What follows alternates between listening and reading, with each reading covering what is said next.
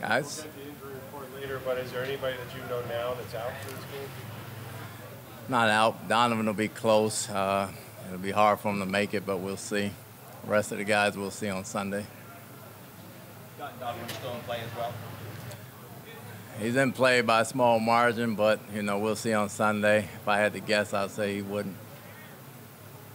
The Saints have won the last six regular season uh, games against the Bucs, dating back to your first season as defensive coordinator. Can you talk about the importance of reinstating this rivalry with the Saints coming into Sunday's game?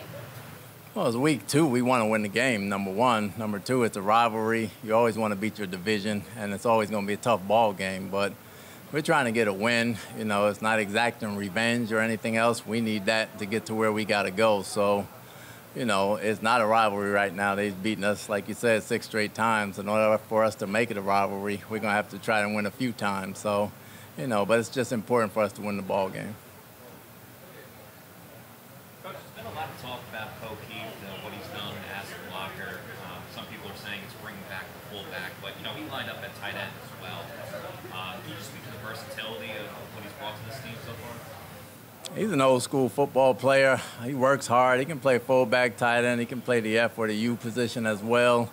He does a lot of things for us. He's good on teams. He can catch the ball actually too. So you haven't seen his receiving skills yet, but he's a hard-nosed, tough guy that comes to work every day and tries to get better. He's always out before practice, trying to stretch and warm up and do things that he needs to work on. And he's been a joy to coach. Your confidence with the receivers and their health right now, would you think you don't need to elevate a receiver from practice squad? You're okay with what you have on the 53?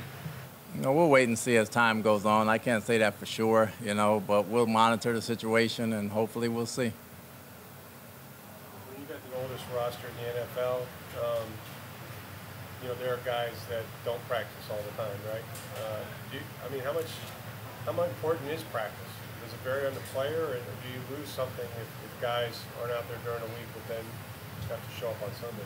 Well, for most players, it's important, but I think when you play in the league a certain amount of time and you prepare a certain way, it's not necessary to practice that guy all the time. You're going to practice, but you're not going to practice all the time. You'll get a day off here and there because it is a long season. Uh, when you announced the main captains last week, you mentioned you guys would wait and, and pick a special teams captain. Have you done that yet? No, not yet. It's only been one game. Coach, on the road, uh, dating back to last season, you've won, Bucs have won five in a row, including obviously last week. Uh, is there anything you could really point to as kind of a running theme for why you've had so much success on the road? No, we just try to prepare. We try to go down anywhere we go, whether it's on the road or at home, and we try to come out with a win. How do you guys handle the crowd noise last week, and is this going to be a bigger thing? Do you practice out here with it anymore, or just feel like you've got that down? We still have practice and crowd noise. We know it's loud down there. We understand that too from going down there the past few years, but I think we'll function okay. The crowd shouldn't be a problem. Can you speak on the growth of Jameis Winston and, and what should be the focus of your defense going into this game? Well, Jameis have grown a great deal. To go in and learn another system and become a starting quarterback is outstanding in itself. To overcome injuries and work out the way he does and still come back and play and have success is outstanding. It says a lot about the person, the character, and what he does to train to get ready to play. And I don't think we prepare for Jameis. I think we prepare for the team.